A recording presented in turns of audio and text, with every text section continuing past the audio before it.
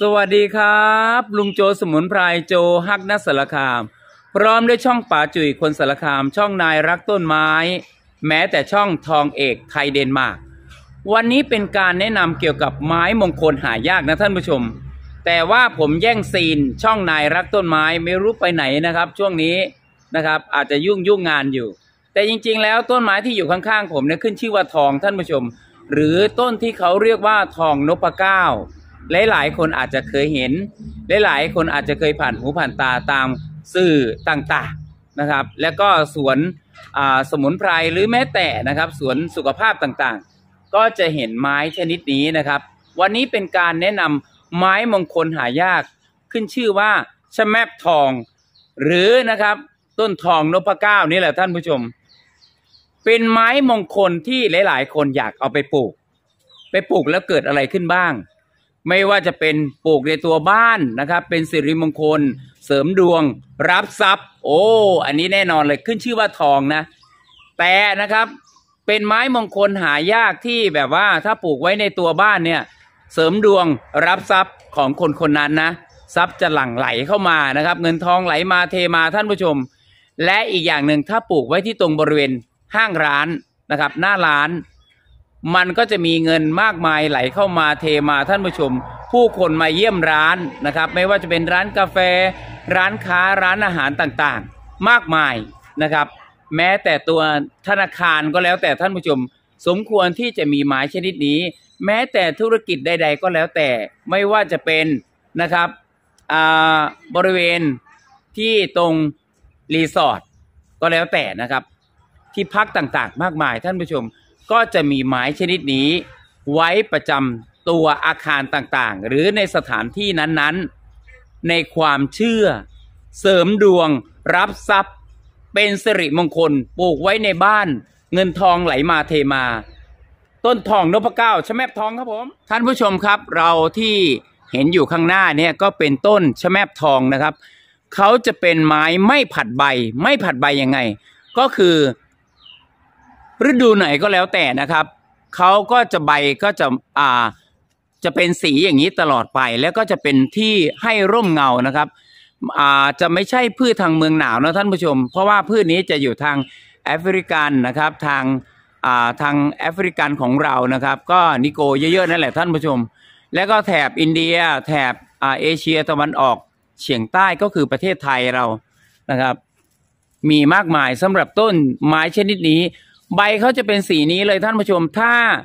ถ้าแดดจะจัดเนี่ยจะเป็นสีทองเหลืองอร่ามมากเลยเหมือนใบมะตูมนะ ผมดูไกลๆทีแรกเหมือนใบมะตูม จริง ๆ แล้วไม่ใช่นะครับท่านผู้ชมเรามาสังเกตกันสักนิดหนึ่งนะครับว่าเขามีใบที่เป็นไม้ไม่ผัดใบนะครับ อันนี้ก็จะมีความสำคัญมากทางด้านพิธีต่างๆ ปลูกไว้ในตัวเรือนบ้านนะครับ คนก็จะแมะมาแวะมาเวียนหานะครับ ในตัวบ้านนะครับ อันนี้ก็จะเป็นยอดอ่อนๆท่านผู้ชมดูยอดอ่อนๆอ่านี่นะครับ อันนี้โจปลูกใส่กระถางนะครับ วันนี้แย่งซีนนายรักต้นไม้นะครับ เป็นไม้ที่ขึ้นชื่อว่าชะแมบทองหรือทองนพเก้านะครับ ใบเขาจะสีเหลืองทองมาก เมื่อเจอแดดจะจัดนะครับ แต่บ้านโจอยู่ในช่วงหน้าหนาวนะครับ ก็เลยแดดก็จะจัดในช่วงบ่ายๆนะครับสายๆ ช่วงนี้นะครับเขาก็ต้อนรับลมหนาวท่านผู้ชม ต้อนรับลมหนาว 19 องศาสำหรับเช้านี้นั่นนี่เนี่ย8โมงแล้วก็ยัง 19 องศานะครับ ก็ยังสบายสบายอากาศเย็นสบายมาก สีทองหรือเหลืองอลามนะครับ เราไปดูผลของเขาดีกว่าเนาะอะมาดูกันชัดๆ อันเนี้ย อันนี้ก็คือผลนะท่านผู้ชม อะเดี๋ยวโจจะซูมสักหน่อย อันเนี้ย อันนี้คือผล ผลเล็กมากนะครับ ทีนี้อันนี้อันนี้นี่นี่นี่นะครับ ผลเล็กมาก อ่าซูมสักนิดหนึ่งชัดๆนะครับ ส่วนดอกเขาจะเป็นสีขาวๆนะท่านผู้ชมเดี๋ยวหาดอกก่อนนะครับ ดอกอยู่ตรงไหนเอ่ยดอกดอกดอกอ่าอันนี้ อันนี้ อันนี้ผลเขาเป็นพวงเลย เห็นไหมนะครับ เม็ดเล็กๆนะครับ เม็ดเล็กๆ เป็นป้องๆเป็นข้อๆนะครับ เดี๋ยวเราไปดูดอกกันดีกว่านะครับ ว่าดอกเขาเป็นยังไง อันนี้ก็จะเป็นช่อดอกนะครับ อันนี้เป็นช่อดอกของเขาดอกเขาสีขาวนะท่านผู้ชมนะครับ อันนี้นี่ดอกเขาสีขาวๆนะครับ ซ่อนไว้อยู่ตรงเนี้ยเออเดี๋ยว ดอกเขาจะมีกลิ่นหอมอ่อนๆนะครับ เอาละนะครับ เราก็จะมาดูทางฝั่งนี้อ่ามีดอกไม่เอ่ยอ่านี่ดอกนะครับ ดอกก็สีขาวนิดเดียวท่านผู้ชม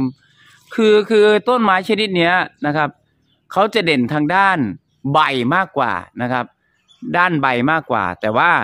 อ่าดอกก็จะได้กลิ่นดอกอ่อนอ่ากลิ่นอ่อนๆนี่นี่นี่นะครับ เราก็จะได้เห็นดอกกันแล้วนะครับ แล้วก็ ผลของเขาด้วยนะครับ มีเมล็ดด้วย นี่แหละนะครับ ใบของเขาต้นสูงท่านผู้ชมต้นสูงมากนะครับ แต่ว่าผมเลี้ยงในกระถางนะท่านผู้ชมผมก็จะเลี้ยงไว้ในกระถางแบบเนี้ยนะครับ เลี้ยงในกระถางแบบนี้นะครับ อันนี้เผื่อไก่เขี่ยนะครับ เนี่ยนะครับ อย่างเงี้ยเลี้ยงในกระถางแบบนี้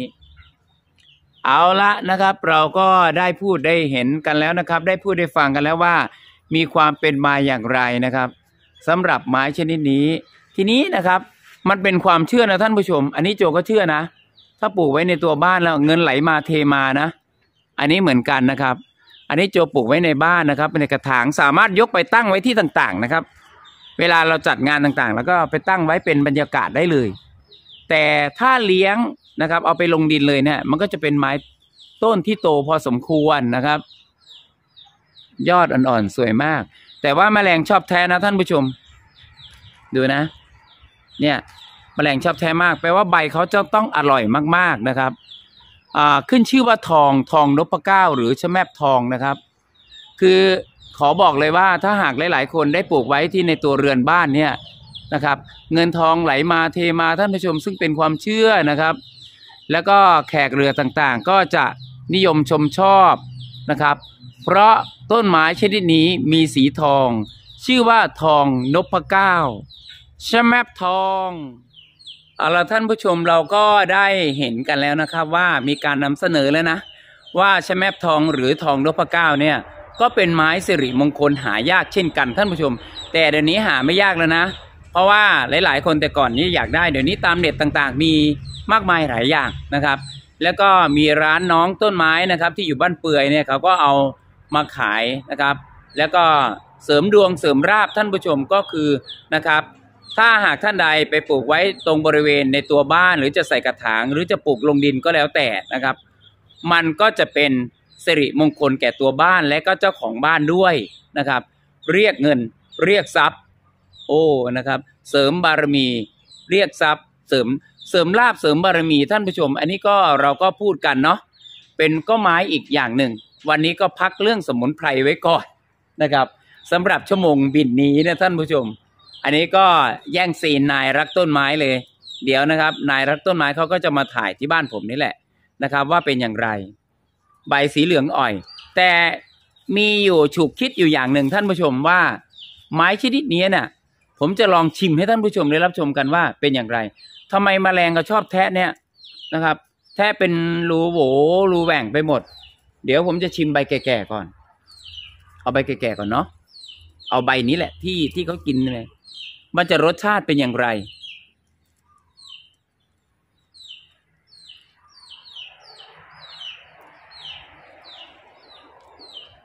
มันเป็นรสที่จืดท่านผู้ชม ทีนี้ อันนี้ใบแก่นะนะครับ เดี๋ยวผมจะลองชิมใบอ่อนๆดูซิว่าเป็นอย่างไร แต่ว่าใบแก่ๆเนี่ย มแมลงชอบแทะแต่ใบอ่อนเนี่ยยังไม่ได้แทะนะ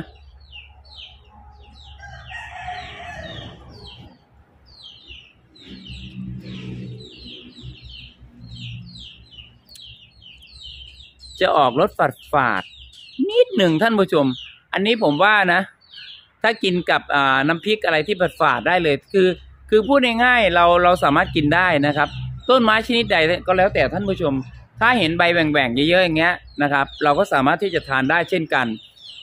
คือแมลงชอบแทะเราก็กินได้นะครับ อันนี้เหมือนกันโอ้โหแบบแหว่งไปหมดท่านผู้ชม ใบนี้มีคือหาดีไม่ได้เลยนะครับ เนี่ย หาดีไม่ได้ มันใบแหว่งหมดเลยเนาะเราก็วันนี้เป็นการแนะนำนะครับ แนะนำว่าถ้าหากบ้านใดใครก็แล้วแต่นะครับ ถ้า อาเห็นต้นชนิดนี้นะครับ ก็เอามาปลูกได้เลยท่านผู้ชมทองนพเก้าหรือชะแมบทองนะครับเสออ่าเป็นไม้มงคลที่หายากมาปลูกไว้ในตัวบ้านก็จะอ่าเงินทองไหลมาเทมาอ่าเสริมดวงรับทรัพย์กันเลยท่านผู้ชม อันนี้ก็เป็นความเชื่อนะ วันนี้ก็เป็นการแนะนำนะครับ ถ้าใครไม่เชื่อก็ไม่ต้องดูนะครับ ผ่านไปเลยดีกว่านะครับ แล้วก็มันก็มีคนประเภทนั้นอยู่าว่าเราพูดมาก อันนี้เหมือนกันท่านผู้ชม ถ้าปลูกไว้ห้างร้านนะครับ หน้าร้านกาแฟ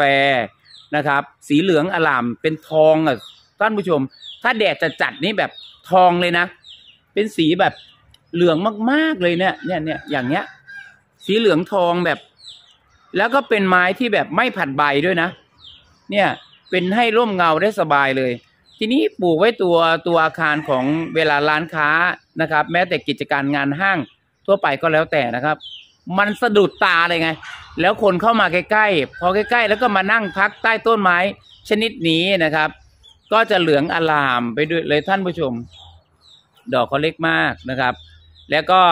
พอพอมานั่งพักให้ความร่มเย็น คนก็จะเข้าร้านเรานะครับ เป็นร้านกาแฟหรือร้านขายของก็แล้วแต่ท่านผู้ชม อันนี้เหมือนกันนะครับ ก็เป็นการแนะนำท่านผู้ชม อันนี้ปลูกหน้าธนาคารนี่ ผมว่าจะยิ่งเหมาะเลยนะครับปลูกหน้าบ้าน หน้าร้านค้าขายของก็แล้วแต่ ดีมากๆเลยนะครับ เสริมดวงเสริมลาบเสริมบารมีเป็นสิริมงคลในตัวบ้านและเป็นสิริมงคลให้กับตัวเจ้าของเองนะครับ